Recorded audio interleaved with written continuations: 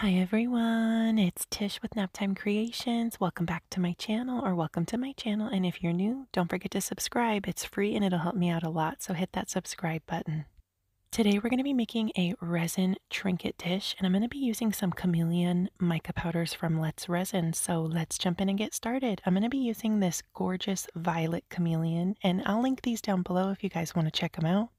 So what I'm doing is actually just taking a little makeup brush and I'm going to dip that into the mica powder here and paint it just around the edge of my silicone mold.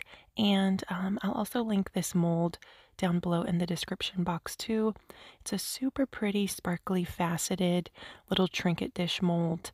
Um, and it takes about five ounces of resin to fill it up all the way. So I'm just going to keep going in and dipping into that mica powder and adding it along the edges just on the perimeter. And you want to kind of pick it up and um, just double check and make sure you get full coverage um, on your little sec sections that you want to do your mica powder on. Just like this, kind of pick it up and just double check and make sure that there's good coverage on the spots of the mold where you want the mica powder to be. So I'm just going to keep finishing or keep adding my mica powder here and finish this up. So here's how it's looking. I got it all finished up and now we're going to do this Lorez Black Pearl mica powder and Pinata Black Alcohol ink. I added that into my five ounces of clear resin here and I'm using the floral epoxy from the epoxy resin store. I had never tried this resin out before and I really like it. It doesn't have any bubbles and it's a super thin viscosity. It reminds me a lot of the liquid diamonds, but it's even thinner than liquid diamonds. If you guys have ever tried liquid diamonds, um, then you know that that stuff is really, really a thin viscosity resin, and this floral epoxy is even thinner than that. So I was excited to try this resin out. Um, I'll link it down below if you guys want to check it out too. I have a 20% off coupon code. It does take longer to set up, and it's a three to one ratio epoxy.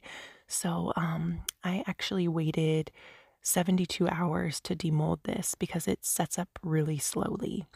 And that's pretty much it. I just covered it up with upside down storage containers so no dust or debris got in there.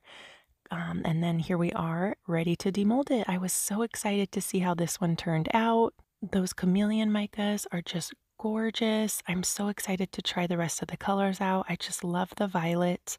Um, my plan for this one was to add the black and then a little bit of clear in the center, but I mixed up too much black, so I just ended up filling the entire mold with black epoxy.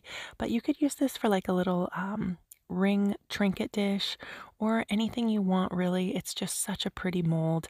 The little um, sections on the inside are faceted so it's just really sparkly and beautiful. Let me know what you guys think down in the comments. Thank you so much for watching this video. I appreciate you guys so much. Don't forget to subscribe to my channel.